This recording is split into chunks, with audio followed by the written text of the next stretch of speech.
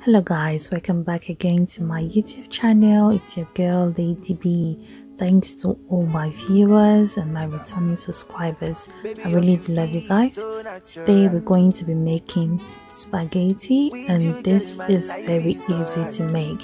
So i'm going to be um, stir frying my prawns with some lemon juice and garlic.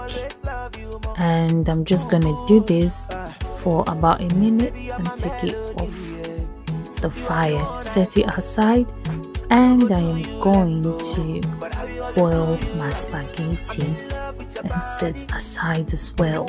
You are Akuna Matata. Baby I am you. I am you my I am with the spaghetti set aside I'm adding in the juice from the prawns into the pot on the fire and I'm adding some seasoning cubes stirred together adding a little more water and leave to boil. Then I'm going to add in my spaghetti prawns and some parsley leaf. Stir them together and leave for about 3 to 4 minutes. And yes it's ready to eat.